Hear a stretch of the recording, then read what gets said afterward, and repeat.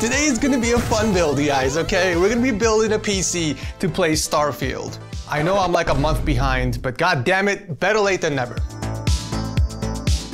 Not only is this PC gonna be optimized for Starfield, but we're also gonna keep the same theme. So mostly white with red and blue accents. We even got the beautiful limited edition Starfield bundle that we're gonna be using for this build.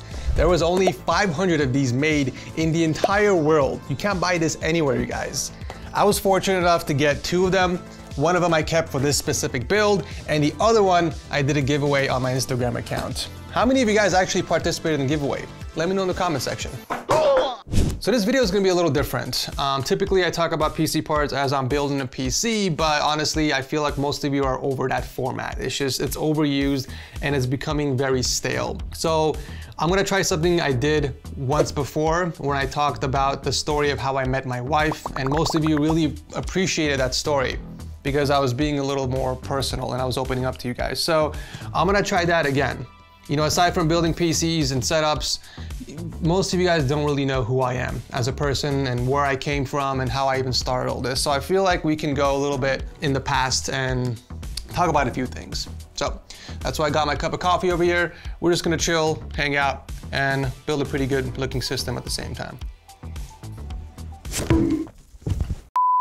It almost feels a shame to open up this processor box it is such a good looking box. The graphics card is already open, so I know I'm not going to feel bad using this in the build, but the CPU, I have to cut the seal, unfortunately.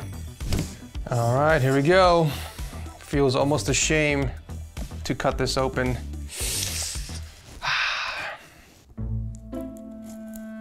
Oh, that hurt my soul. that hurt my soul. Oh man. Oh well. Oh, that is cool. That is neat. This is the first time I'm seeing the inside of the CPU box because I did not open this on the giveaway bundle.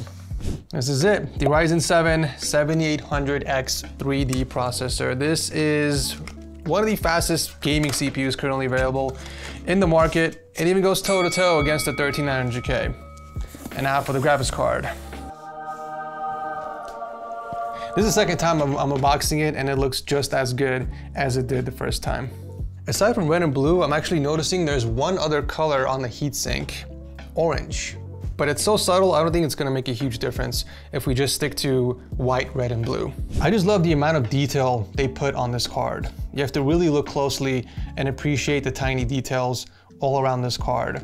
All right, I do have one small nitpick, um, and this is just a personal opinion but I would prefer white fans instead of black because I feel like the black sticks out a little too much against the white. Um, this is just a personal preference, of course. But other than that, it's still a fantastic card. And it does surprisingly well on Starfield. In some resolutions and settings, the 7900 XTX actually performs better than the RTX 4090, believe it or not. And that's kind of expected because Starfield is an AMD title technically, so it is optimized for AMD graphics cards. So motherboard we're going with is the ROG Strix B650A Gaming Wi-Fi, simply because it supports AM5 CPUs and it's in the perfect color scheme for the build, and it's ASUS, which I'm sure most of you guys already know how I feel about ASUS motherboards. So I guess to start off the video, I should probably introduce myself for those who are new to the channel. Welcome, by the way, if you guys stumbled across the channel in the past few months or even this past year. My name is Edgar Oganessian. Most people can't pronounce my last name because it is an Armenian last name, but it's, uh, it's not organism, it's not orgasm, it's Oganessian. you can always tell if that person is Armenian or if they're from an Armenian family based off the last three letters of their last name. If it ends in an IN or a YN, most likely they're Armenian. Kim Kardashian, Dan Bilzerian, you guys get the idea. Anywhoosies, so I'm currently 35 years old. Uh, I've been in the States for about 30 years, which means I was about five when I first came here with my family. It was just my mom and my brother at the time because my sister wasn't born. And we came to this country extremely broke. We had no money, absolutely nothing. I think we only like $20 in our pockets. So needless to say, my mom busted her ass working two jobs and going to school part-time to learn English just so she can support the both of us, um, all by herself. We had no dad in our life. He was a pile of crap, to keep this, this story short and simple. Um, so everything my mom did, she did it by herself. We didn't have the best childhood. You know, we didn't get the fancy clothes, we didn't get any of the nice shiny consoles growing up, but you know, we were still happy because my mom did whatever she could by herself. It wasn't easy. Uh, I remember one day I heard some crying from my bedroom and it was like 2 a.m. And I um, got up and I noticed that my mom was crying in the other room. I must have been six or seven years old at the time. And I went up to her and I'm like, Mom, why are you crying? She looks at me and says, We have no money.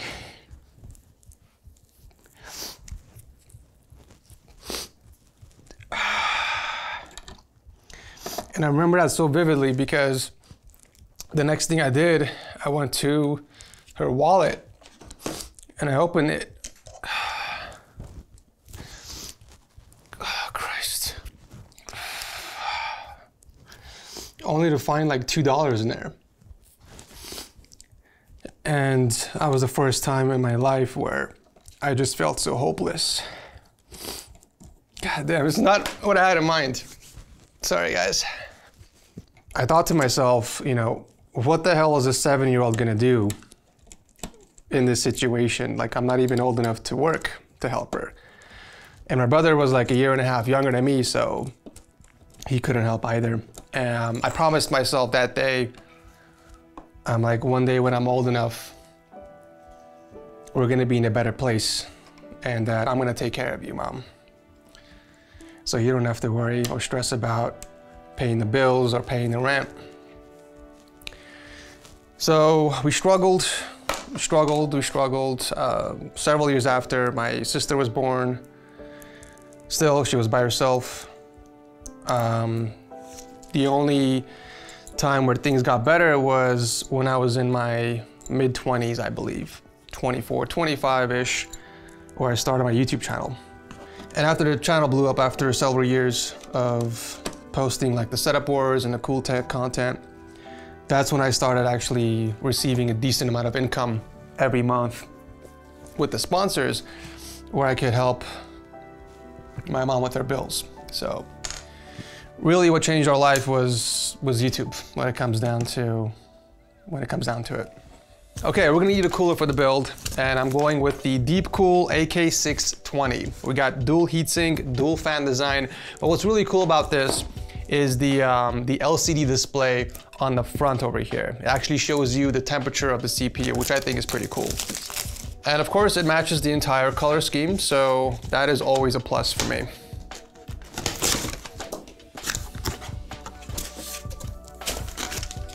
Oh, that's a nice cooler. That's a really nice cooler. Check this out. So there is a part of the story where I kind of left out, mostly because I don't really like talking about it, but it has to do with my dad. He's been in and out of our life ever since I could remember. Um, and I don't really blame my mom for it, for constantly bringing him back because, you know, he is the father of her children, so I kind of understand where she's coming from. You know, she wants to make it work regardless of their differences. So that's kind of how my sister was born. We're all from the same father. It's not like she met someone else. But I remember the last time I saw him was I was in sixth grade. Um, I must have been 11 or 12 years old. And I remember there was a major argument where she had to call the police um, because he took our life savings and he went and gambled with it. That's the only conversation I remember vividly before the cops came and escorted him out. And since that day, I have never heard from him or seen him.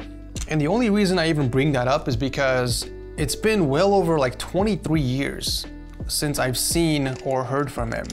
Not once within that 23 years has he reached out to say anything. That's what just bothers me so much sometimes. You know, something would happen in life where I would remember and I would just like take a step back and like, why hasn't he done anything? You know, like, does he know I'm alive? Does he know I exist? Does he know the type of person I've become? Does he know I have two daughters? it's just, it's so confusing. Not that it would change anything. You know, I don't think I'll ever forgive him for what he did, but it's just that thought where it doesn't make any sense. 23 years. And not even like a, hey, what's up? How are you? Honestly, it is what it is. Like, I've learned to live with it. In a way, it's kind of like a blessing in disguise because I've taken that whole experience and it has taught me to become the father that he never was for my two daughters. I've taken that entire negative experience and I know what not to do because of it. So I'm always a firm believer that everything happens for a reason. And that's kind of how I just been living my life, to be honest. Is this even gonna fit? Oh, look at that. It's sitting right on the ram. Oh no. Uh, it should be fine. Well, only one way to find out. All right, moment of truth, here we go. Oh, that was bad. That could have been bad. Forgot to remove the sticker. Oh, it's a tight fit. You know what? That's fine because we can adjust the fan in the front here. I'm gonna lift it up just a little bit so that it's not sitting directly on there. Okay, let's lift it up by like one notch. I think that's good enough. Beautiful, look at that. You know those jokes I always make on my videos where I'm like, has your dad left for milk and never came back? And I would always read like the upset comments down below saying that, hey, you shouldn't make fun of people who don't have a dad. Little do they know, I'm in the same exact boat. I would never make a joke where I wouldn't be on the receiving end as well. So I speak from personal experience. So the case we're building inside of is a Deepcool CH560WH, and I cannot give Deepcool enough credit for being so committed to the color scheme. Like everything is in the same color, from the power supply shroud to the PCI brackets in the back, the fans, and even the fan cable. So hats off to you, Deepcool. Also, I apologize real quick if you guys hear any baby noises in the background.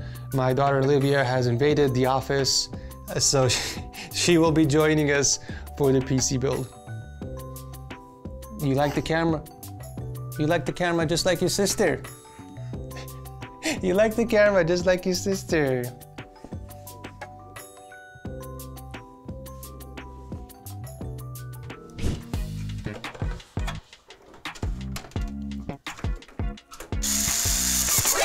Whoa, okay, whoa, whoa, whoa, whoa, whoa.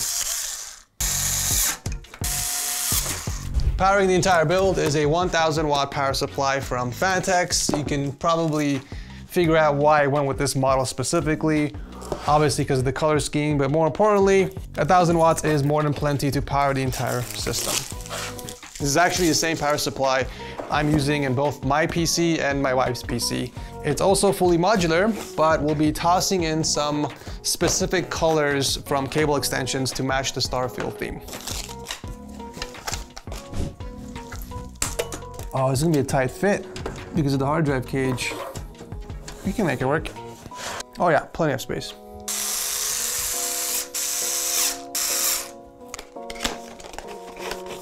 Now that I'm looking at it, this does look a little too red, white, and blue for my taste. It's almost like a, um, like a United States themed build, as opposed to the cables that actually come with the graphics card. The only problem with these is that they don't have any cable combs. So it's not gonna look that good inside the system. One set has the colored cables and then the other set is just pure white. Honestly, I think it's just better to go with this.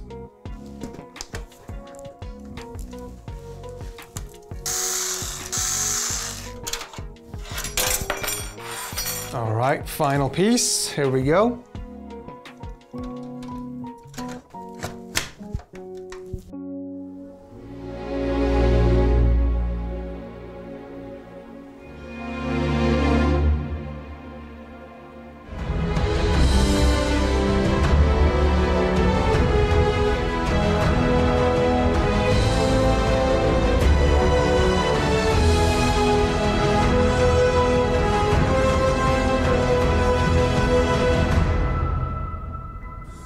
Boys and girls, here we go with Starfield loaded up on the PC. We are playing in 1440p ultra settings, so we're pretty much maxed out with FSR2 enabled. We are in the main city of Alpha Centauri and we are getting in the 80s, average 80s. Average 80s, low 90s, depending on where exactly you are in the map, but that's not too bad, actually. Unfortunately, I can't even see any of the graphics card information. The only thing that shows for the GPU is the utilization. We're almost at 90%. There is no clock speeds, there is no temperatures. MSI Afterburner is not playing nice with this specific 7900 XTX for some reason. So we're gonna have to actually load up hardware info to get that. So temperatures on the graphics card right now is 68 degrees Celsius, which is really cool. It's actually still pretty crazy that even with the best graphics card that AMD has to offer, we still can't crack 100 FPS on ultra settings. That just goes to show how demanding this freaking game really is. All right, let's lower down to high, see if that does anything. Okay, here we go. Now we're finally hitting 100 FPS. So we got a essentially a 10 to 20 FPS boost just by lowering the settings down to high. Not bad. Oh wow, we're actually doing a lot better on a different planet, you guys. Look at that, 150 FPS in 1440p ultra settings. That's pretty impressive, actually. CPU temps are also doing really well, 62C on the 7800X 3D.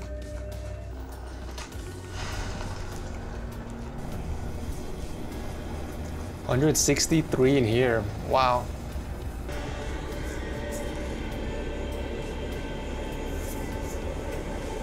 That's freaking crazy, guys. That's the most FPS I've gotten on Starfield in ultra settings. This is like the perfect PC to max this game out.